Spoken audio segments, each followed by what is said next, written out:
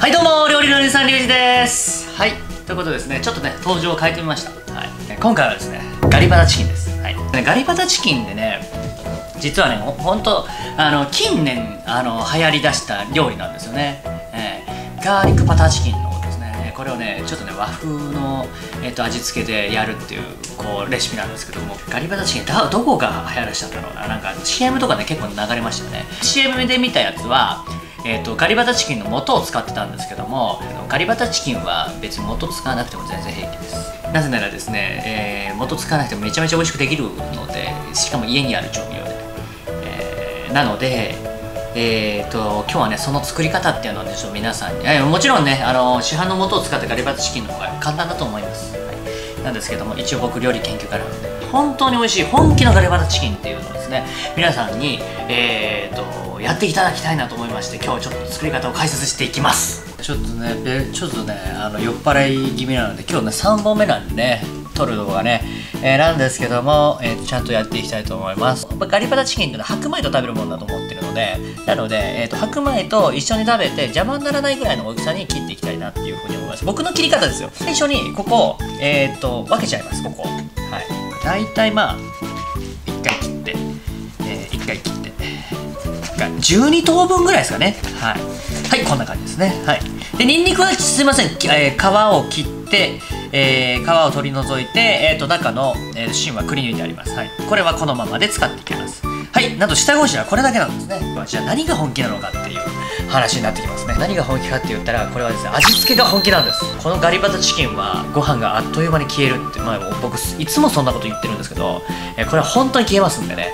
えー、ちょっとそれをね、えー、ちょっと今からあのその調味料の配合だけ、えー、ちょっとちゃんと見てってくださいね。フライパンをに火かけまして、え油あの本当にね少量でいいです。小さじ1ぐらいです。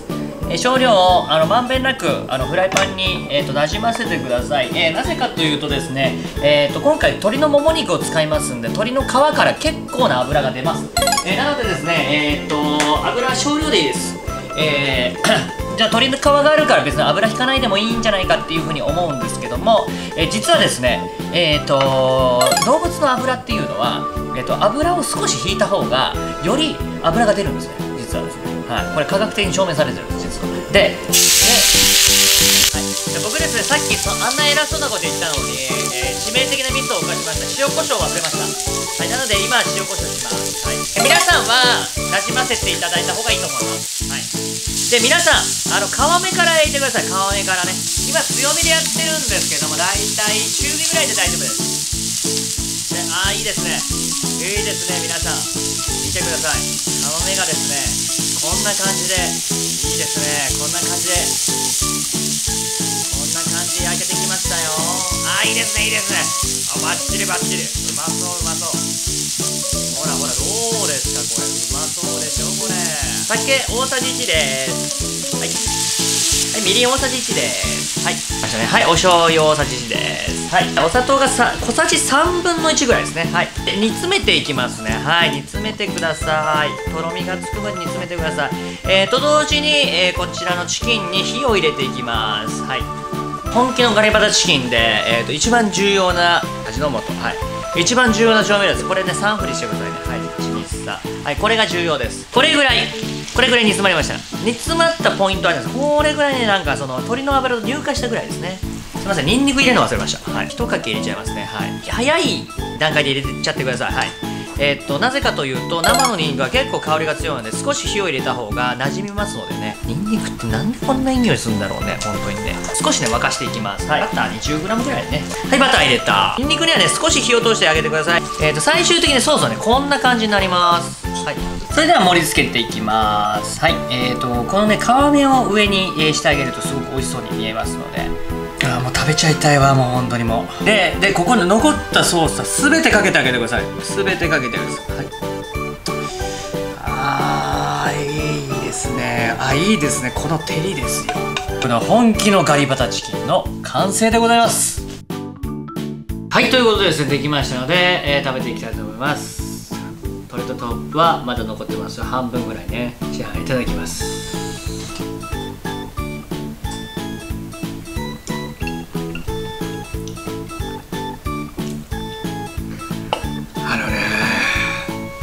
してこれを超える料理がこれから現れるのだろうかっていうね。まあ僕はねあのおつまみで食べるんですけどこれはね100%あのご飯なんですよね。あのご飯に合うものはお酒にも合うんだけどもちろんお酒にもものすごい合います。でもねこれはねもう本当に育ち盛りの、えー、男子高校生もうがっつり食べてもらいます。あのこの 3K ぐらいで茶碗一杯食べてほしいですね。僕はあのお酒飲みなのでお酒と飲んでるんですけどもこれ非常当に美味しい。このねパリッと焼けた鶏肉に、えー、このねあの醤油みりん酒バター砂糖あとねおろしにんにくのですねこのまあ俗にこのカリバタソースがですねこれ非常に美味しいんですこれは。マジで。このソース絡めれば大体のもうまいです。ソースを食べるために鶏肉を食べるみたいな。本当にうまいです。はい。えー、なのでですねもうあのこれはもうな何で炒めていただいてももう約束されてるね調理が。料理やる気なくなるわ。あのこのソースがうますぎて。もうご飯で食べてください。もうあのもうこれごとご飯にジャってもうかけちゃってもいいです。本当に牛丼チェーンとか行かなくなると思いますマジでうまいんで。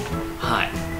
なので皆さんぜひ試してみてください。はいということでですね皆さん、えー、今日の料理ですねえー、作ってみたいなとかですね、えー、やってみたいなって思った方はぜひ、えー、高評価チャンネル登録もしよければですね通知ボタン、え登録お願いいたします。ゆうじでした